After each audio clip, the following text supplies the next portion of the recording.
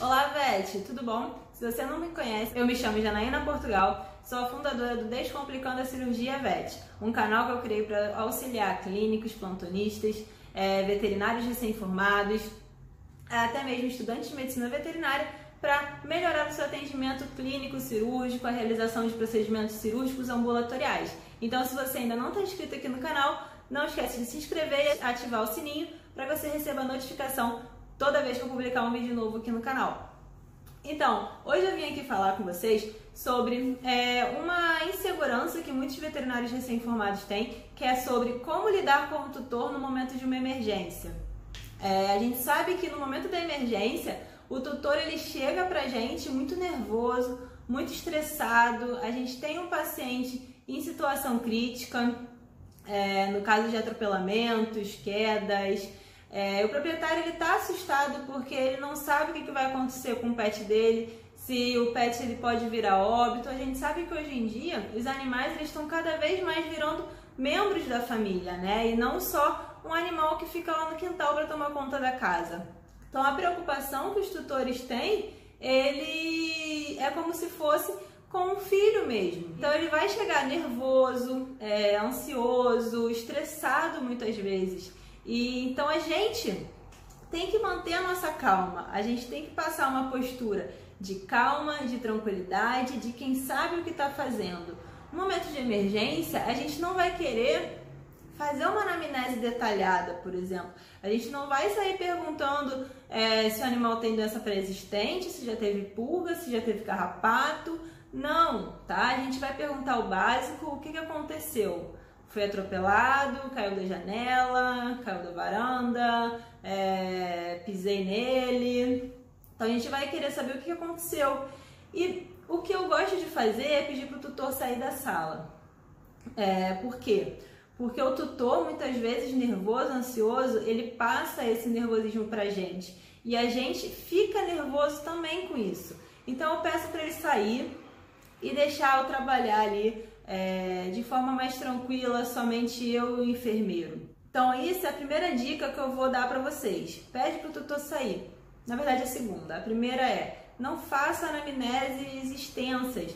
Busquem só saber o que, que aconteceu naquele momento, se foi uma queda ou um atropelamento, por exemplo. Segundo, pede para o tutor sair da sala. Fica só você e o auxiliar para realizar todos os procedimentos. Fazer uma boa é, exame clínico, ver se tem sinais de hemorragia, seguir o protocolo do ABCD do trauma.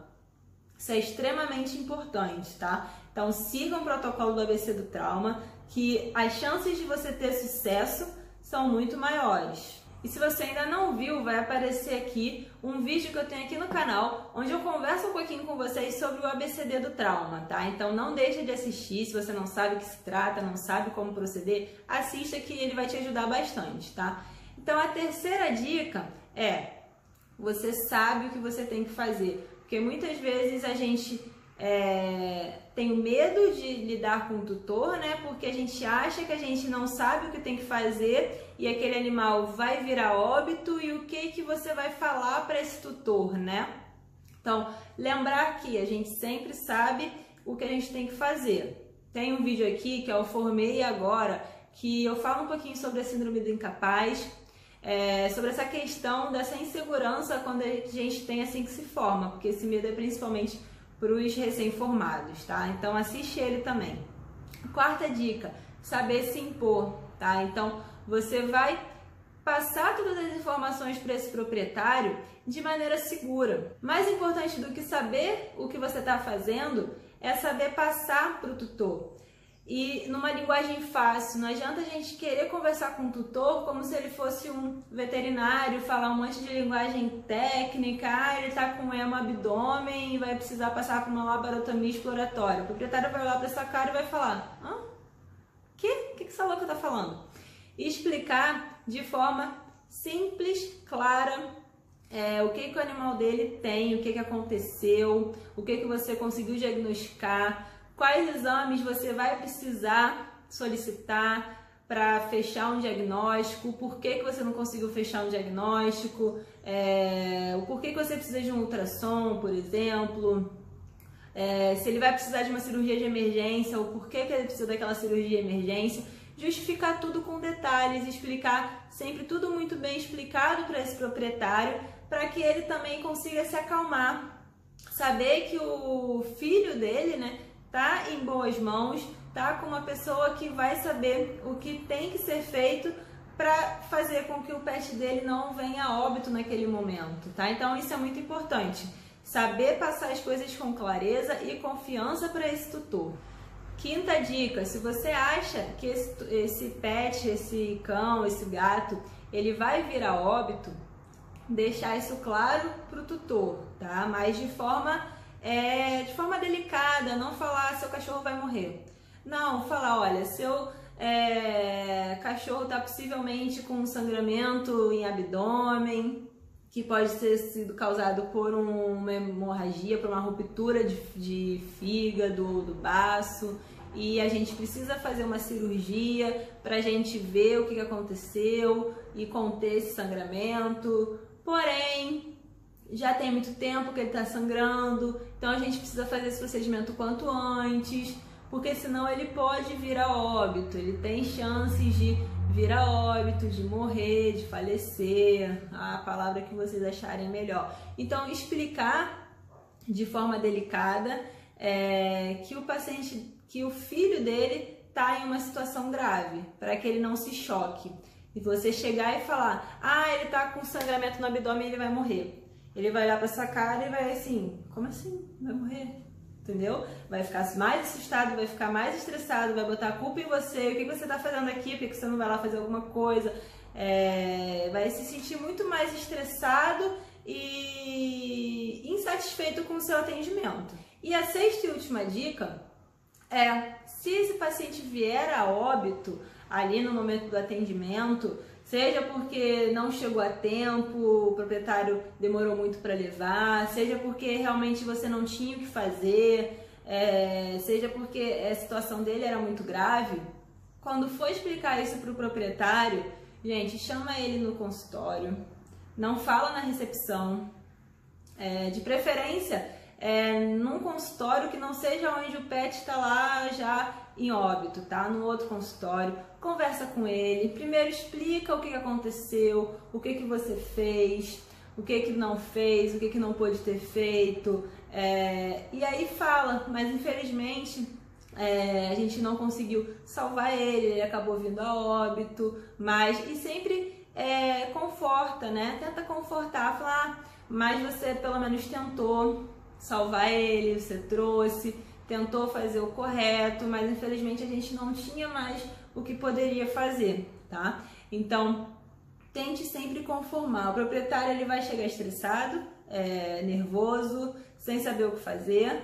E se o animal vier a óbito, ele vai ficar triste, chateado, ele pode fazer escândalo, e isso tudo vai depender do modo como você vai abordar esse tutor desde o início do atendimento, desde o momento que ele chega nervoso, a gente tem que entender que é como se fosse o filho dele que está ali numa situação grave. Então ele vai chegar nervoso, ele vai chegar estressado, ele pode ser grosso, mas a gente tem que se colocar no lugar e entender que ele está passando por um momento ali estressante mesmo. Muitas vezes a gente fala algo que a gente não gostaria.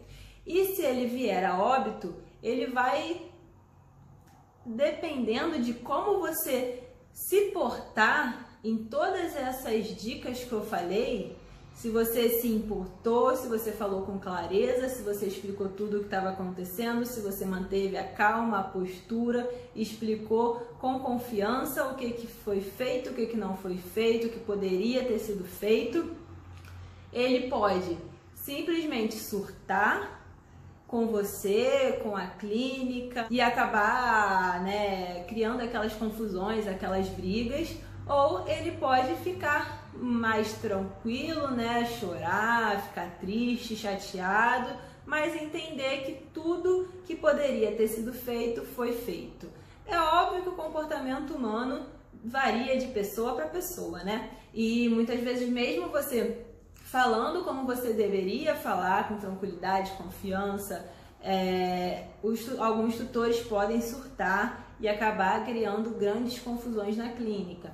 Mas Se você faz tudo como tem que ser feito, fala com clareza, simples, com confiança, age da forma correta com aquele pet, é, você não perde a sua razão, você sabe que você fez tudo que poderia fazer, tudo que você é, que estava ao seu alcance e que realmente não tinha mais o que ser feito para aquele pet.